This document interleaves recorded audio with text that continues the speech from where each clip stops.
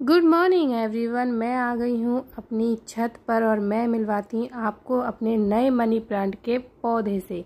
तो देखो, ये जो मेरा मनी प्लांट है, जो मैंने दो छोटे छोटे गमलों में लगा रखा है, ये मनी प्लांट मैंने 20 दिन पहले लगाया था। तो 20 दिन के बाद इसने कितनी अच्छी तरीके से ग्रो कर लिया है। और मैं इसको ज़्यादा धूप में नहीं रखती।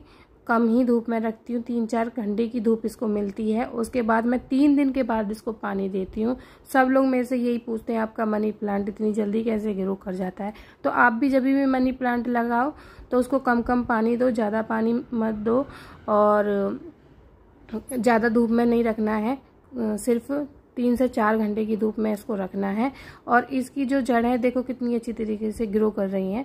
बीस दिन के बाद इसने अपने गमले में जगह बना ली है और हरा भरा प्लांट मेरा दिख रहा है। मुझे बहुत सुंदर लग रहा है। आपको कैसा लगा, आप भी मुझे ज़रूर बताएँ।